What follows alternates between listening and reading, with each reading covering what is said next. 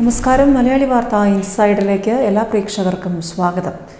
Howdy മോദിയും നമസ്തേ ട്രംപുമൊക്കെ ചരിത്രത്തിന്റെ ഭാഗമാണിന്ന്. പക്ഷേ ചില ബന്ധങ്ങൾ നയതന്ത്ര ബന്ധങ്ങളടക്കം ഒരു അത്യാവശ്യ ഘട്ടത്തിൽ ഒരു അവശ്യ സാഹചര്യത്തിലൊക്കെ ഉപയോഗപ്പെടുമെങ്കിൽ അതിന് വലിയ അർത്ഥതലങ്ങളുണ്ട്. അങ്ങനെ ചില അർത്ഥങ്ങൾ ഇപ്പോൾ കൊറോണ കോവിഡ് നയന്റീന്റെ പശ്ചാത്തലത്തിൽ ഇന്ത്യക്കും അമേരിക്കയ്ക്കും ഇടയിൽ ഉണ്ടായിട്ടുണ്ടെങ്കിൽ അതും പ്രതീക്ഷയ്ക്ക് വക നൽകുന്നതാണ്.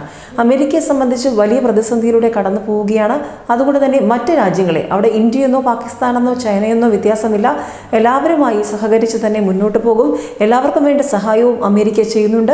ഏതായാലും ഇന്ത്യയെ സംബന്ധിച്ച് ഇത് കൂടുതൽ ആശ്വാസത്തിന് വക നൽകുന്ന പ്രഖ്യാപനമാണ് അമേരിക്കയിൽ നിന്നും പ്രസിഡന്റ് ഡൊണാൾഡ് ട്രംപ് നൽകിയിരിക്കുന്നത്.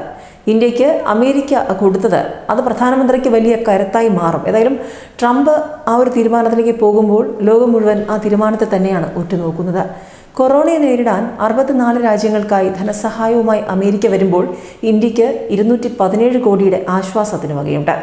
കൊറോണ വൈറസ് മഹാമാരിയെ നേരിടുന്നതിന് അറുപത്തിനാല് രാജ്യങ്ങൾക്ക് അമേരിക്ക ധനസഹായം പ്രഖ്യാപിച്ചു കഴിഞ്ഞു. നൂറ്റി എഴുപത്തിനാല് മില്യൺ ഡോളറാണ് അറുപത്തിനാല് രാജ്യങ്ങൾക്കായി നൽകുക. ഇതിൽ ഉൾപ്പെട്ട ഇന്ത്യയ്ക്ക് രണ്ട് ദശാംശം ഒൻപത് മില്യൺ ഡോളർ അതായത് ഇരുന്നൂറ്റി പതിനേഴ് കോടി രൂപയിലധികം സഹായം ലഭിക്കും.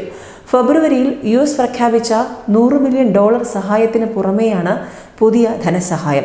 Centers for studies control and prevention ഉൾപ്പെടെ വിവിധ വകുപ്പുകളിലും ഏജൻസികളിലുമുള്ള അമേരിക്കൻ ആഗോള പ്രതികരണ പാക്കേജിന്റെ ഭാഗമായാണ് പ്രഖ്യാപിച്ച സഹായം വന്നിരിക്കുന്നത്.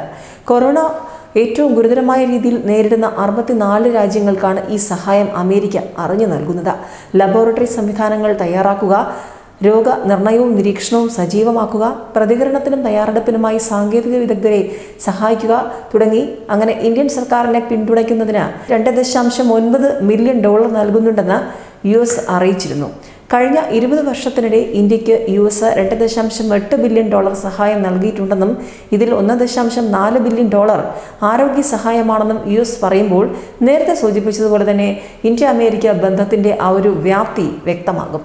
ആഗോള ആരോഗ്യ നേതൃത്വത്തിന്റെ ഭാഗമായിട്ടാണ് ഇത്തരത്തിൽ നിർണായകമായ ധനസഹായവുമായി അമേരിക്ക രംഗത്ത് വന്നിരിക്കുന്നത്. ഡൊണാൾഡ് ട്രംപിന്റെ ഈ ഒരു പ്രഖ്യാപനത്തെ ലോകരാജ്യങ്ങൾ നിറഞ്ഞ കയ്യടിയോടെ തന്നെയാണ് സ്വീകരിക്കുന്നത്. പതിറ്റാണ്ടുകളായി ലോകജന ആരോഗ്യത്തിൽ ലോകത്തിലെ ഏറ്റവും വലിയ സഹായം നൽകുന്ന രാജ്യമാണ് അമേരിക്ക.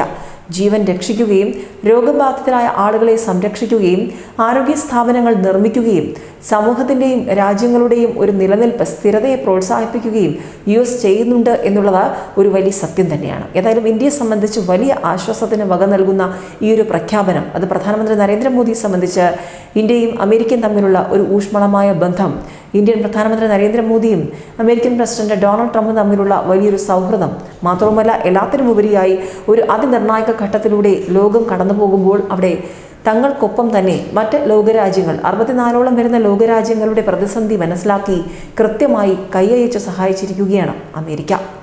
News desk insight.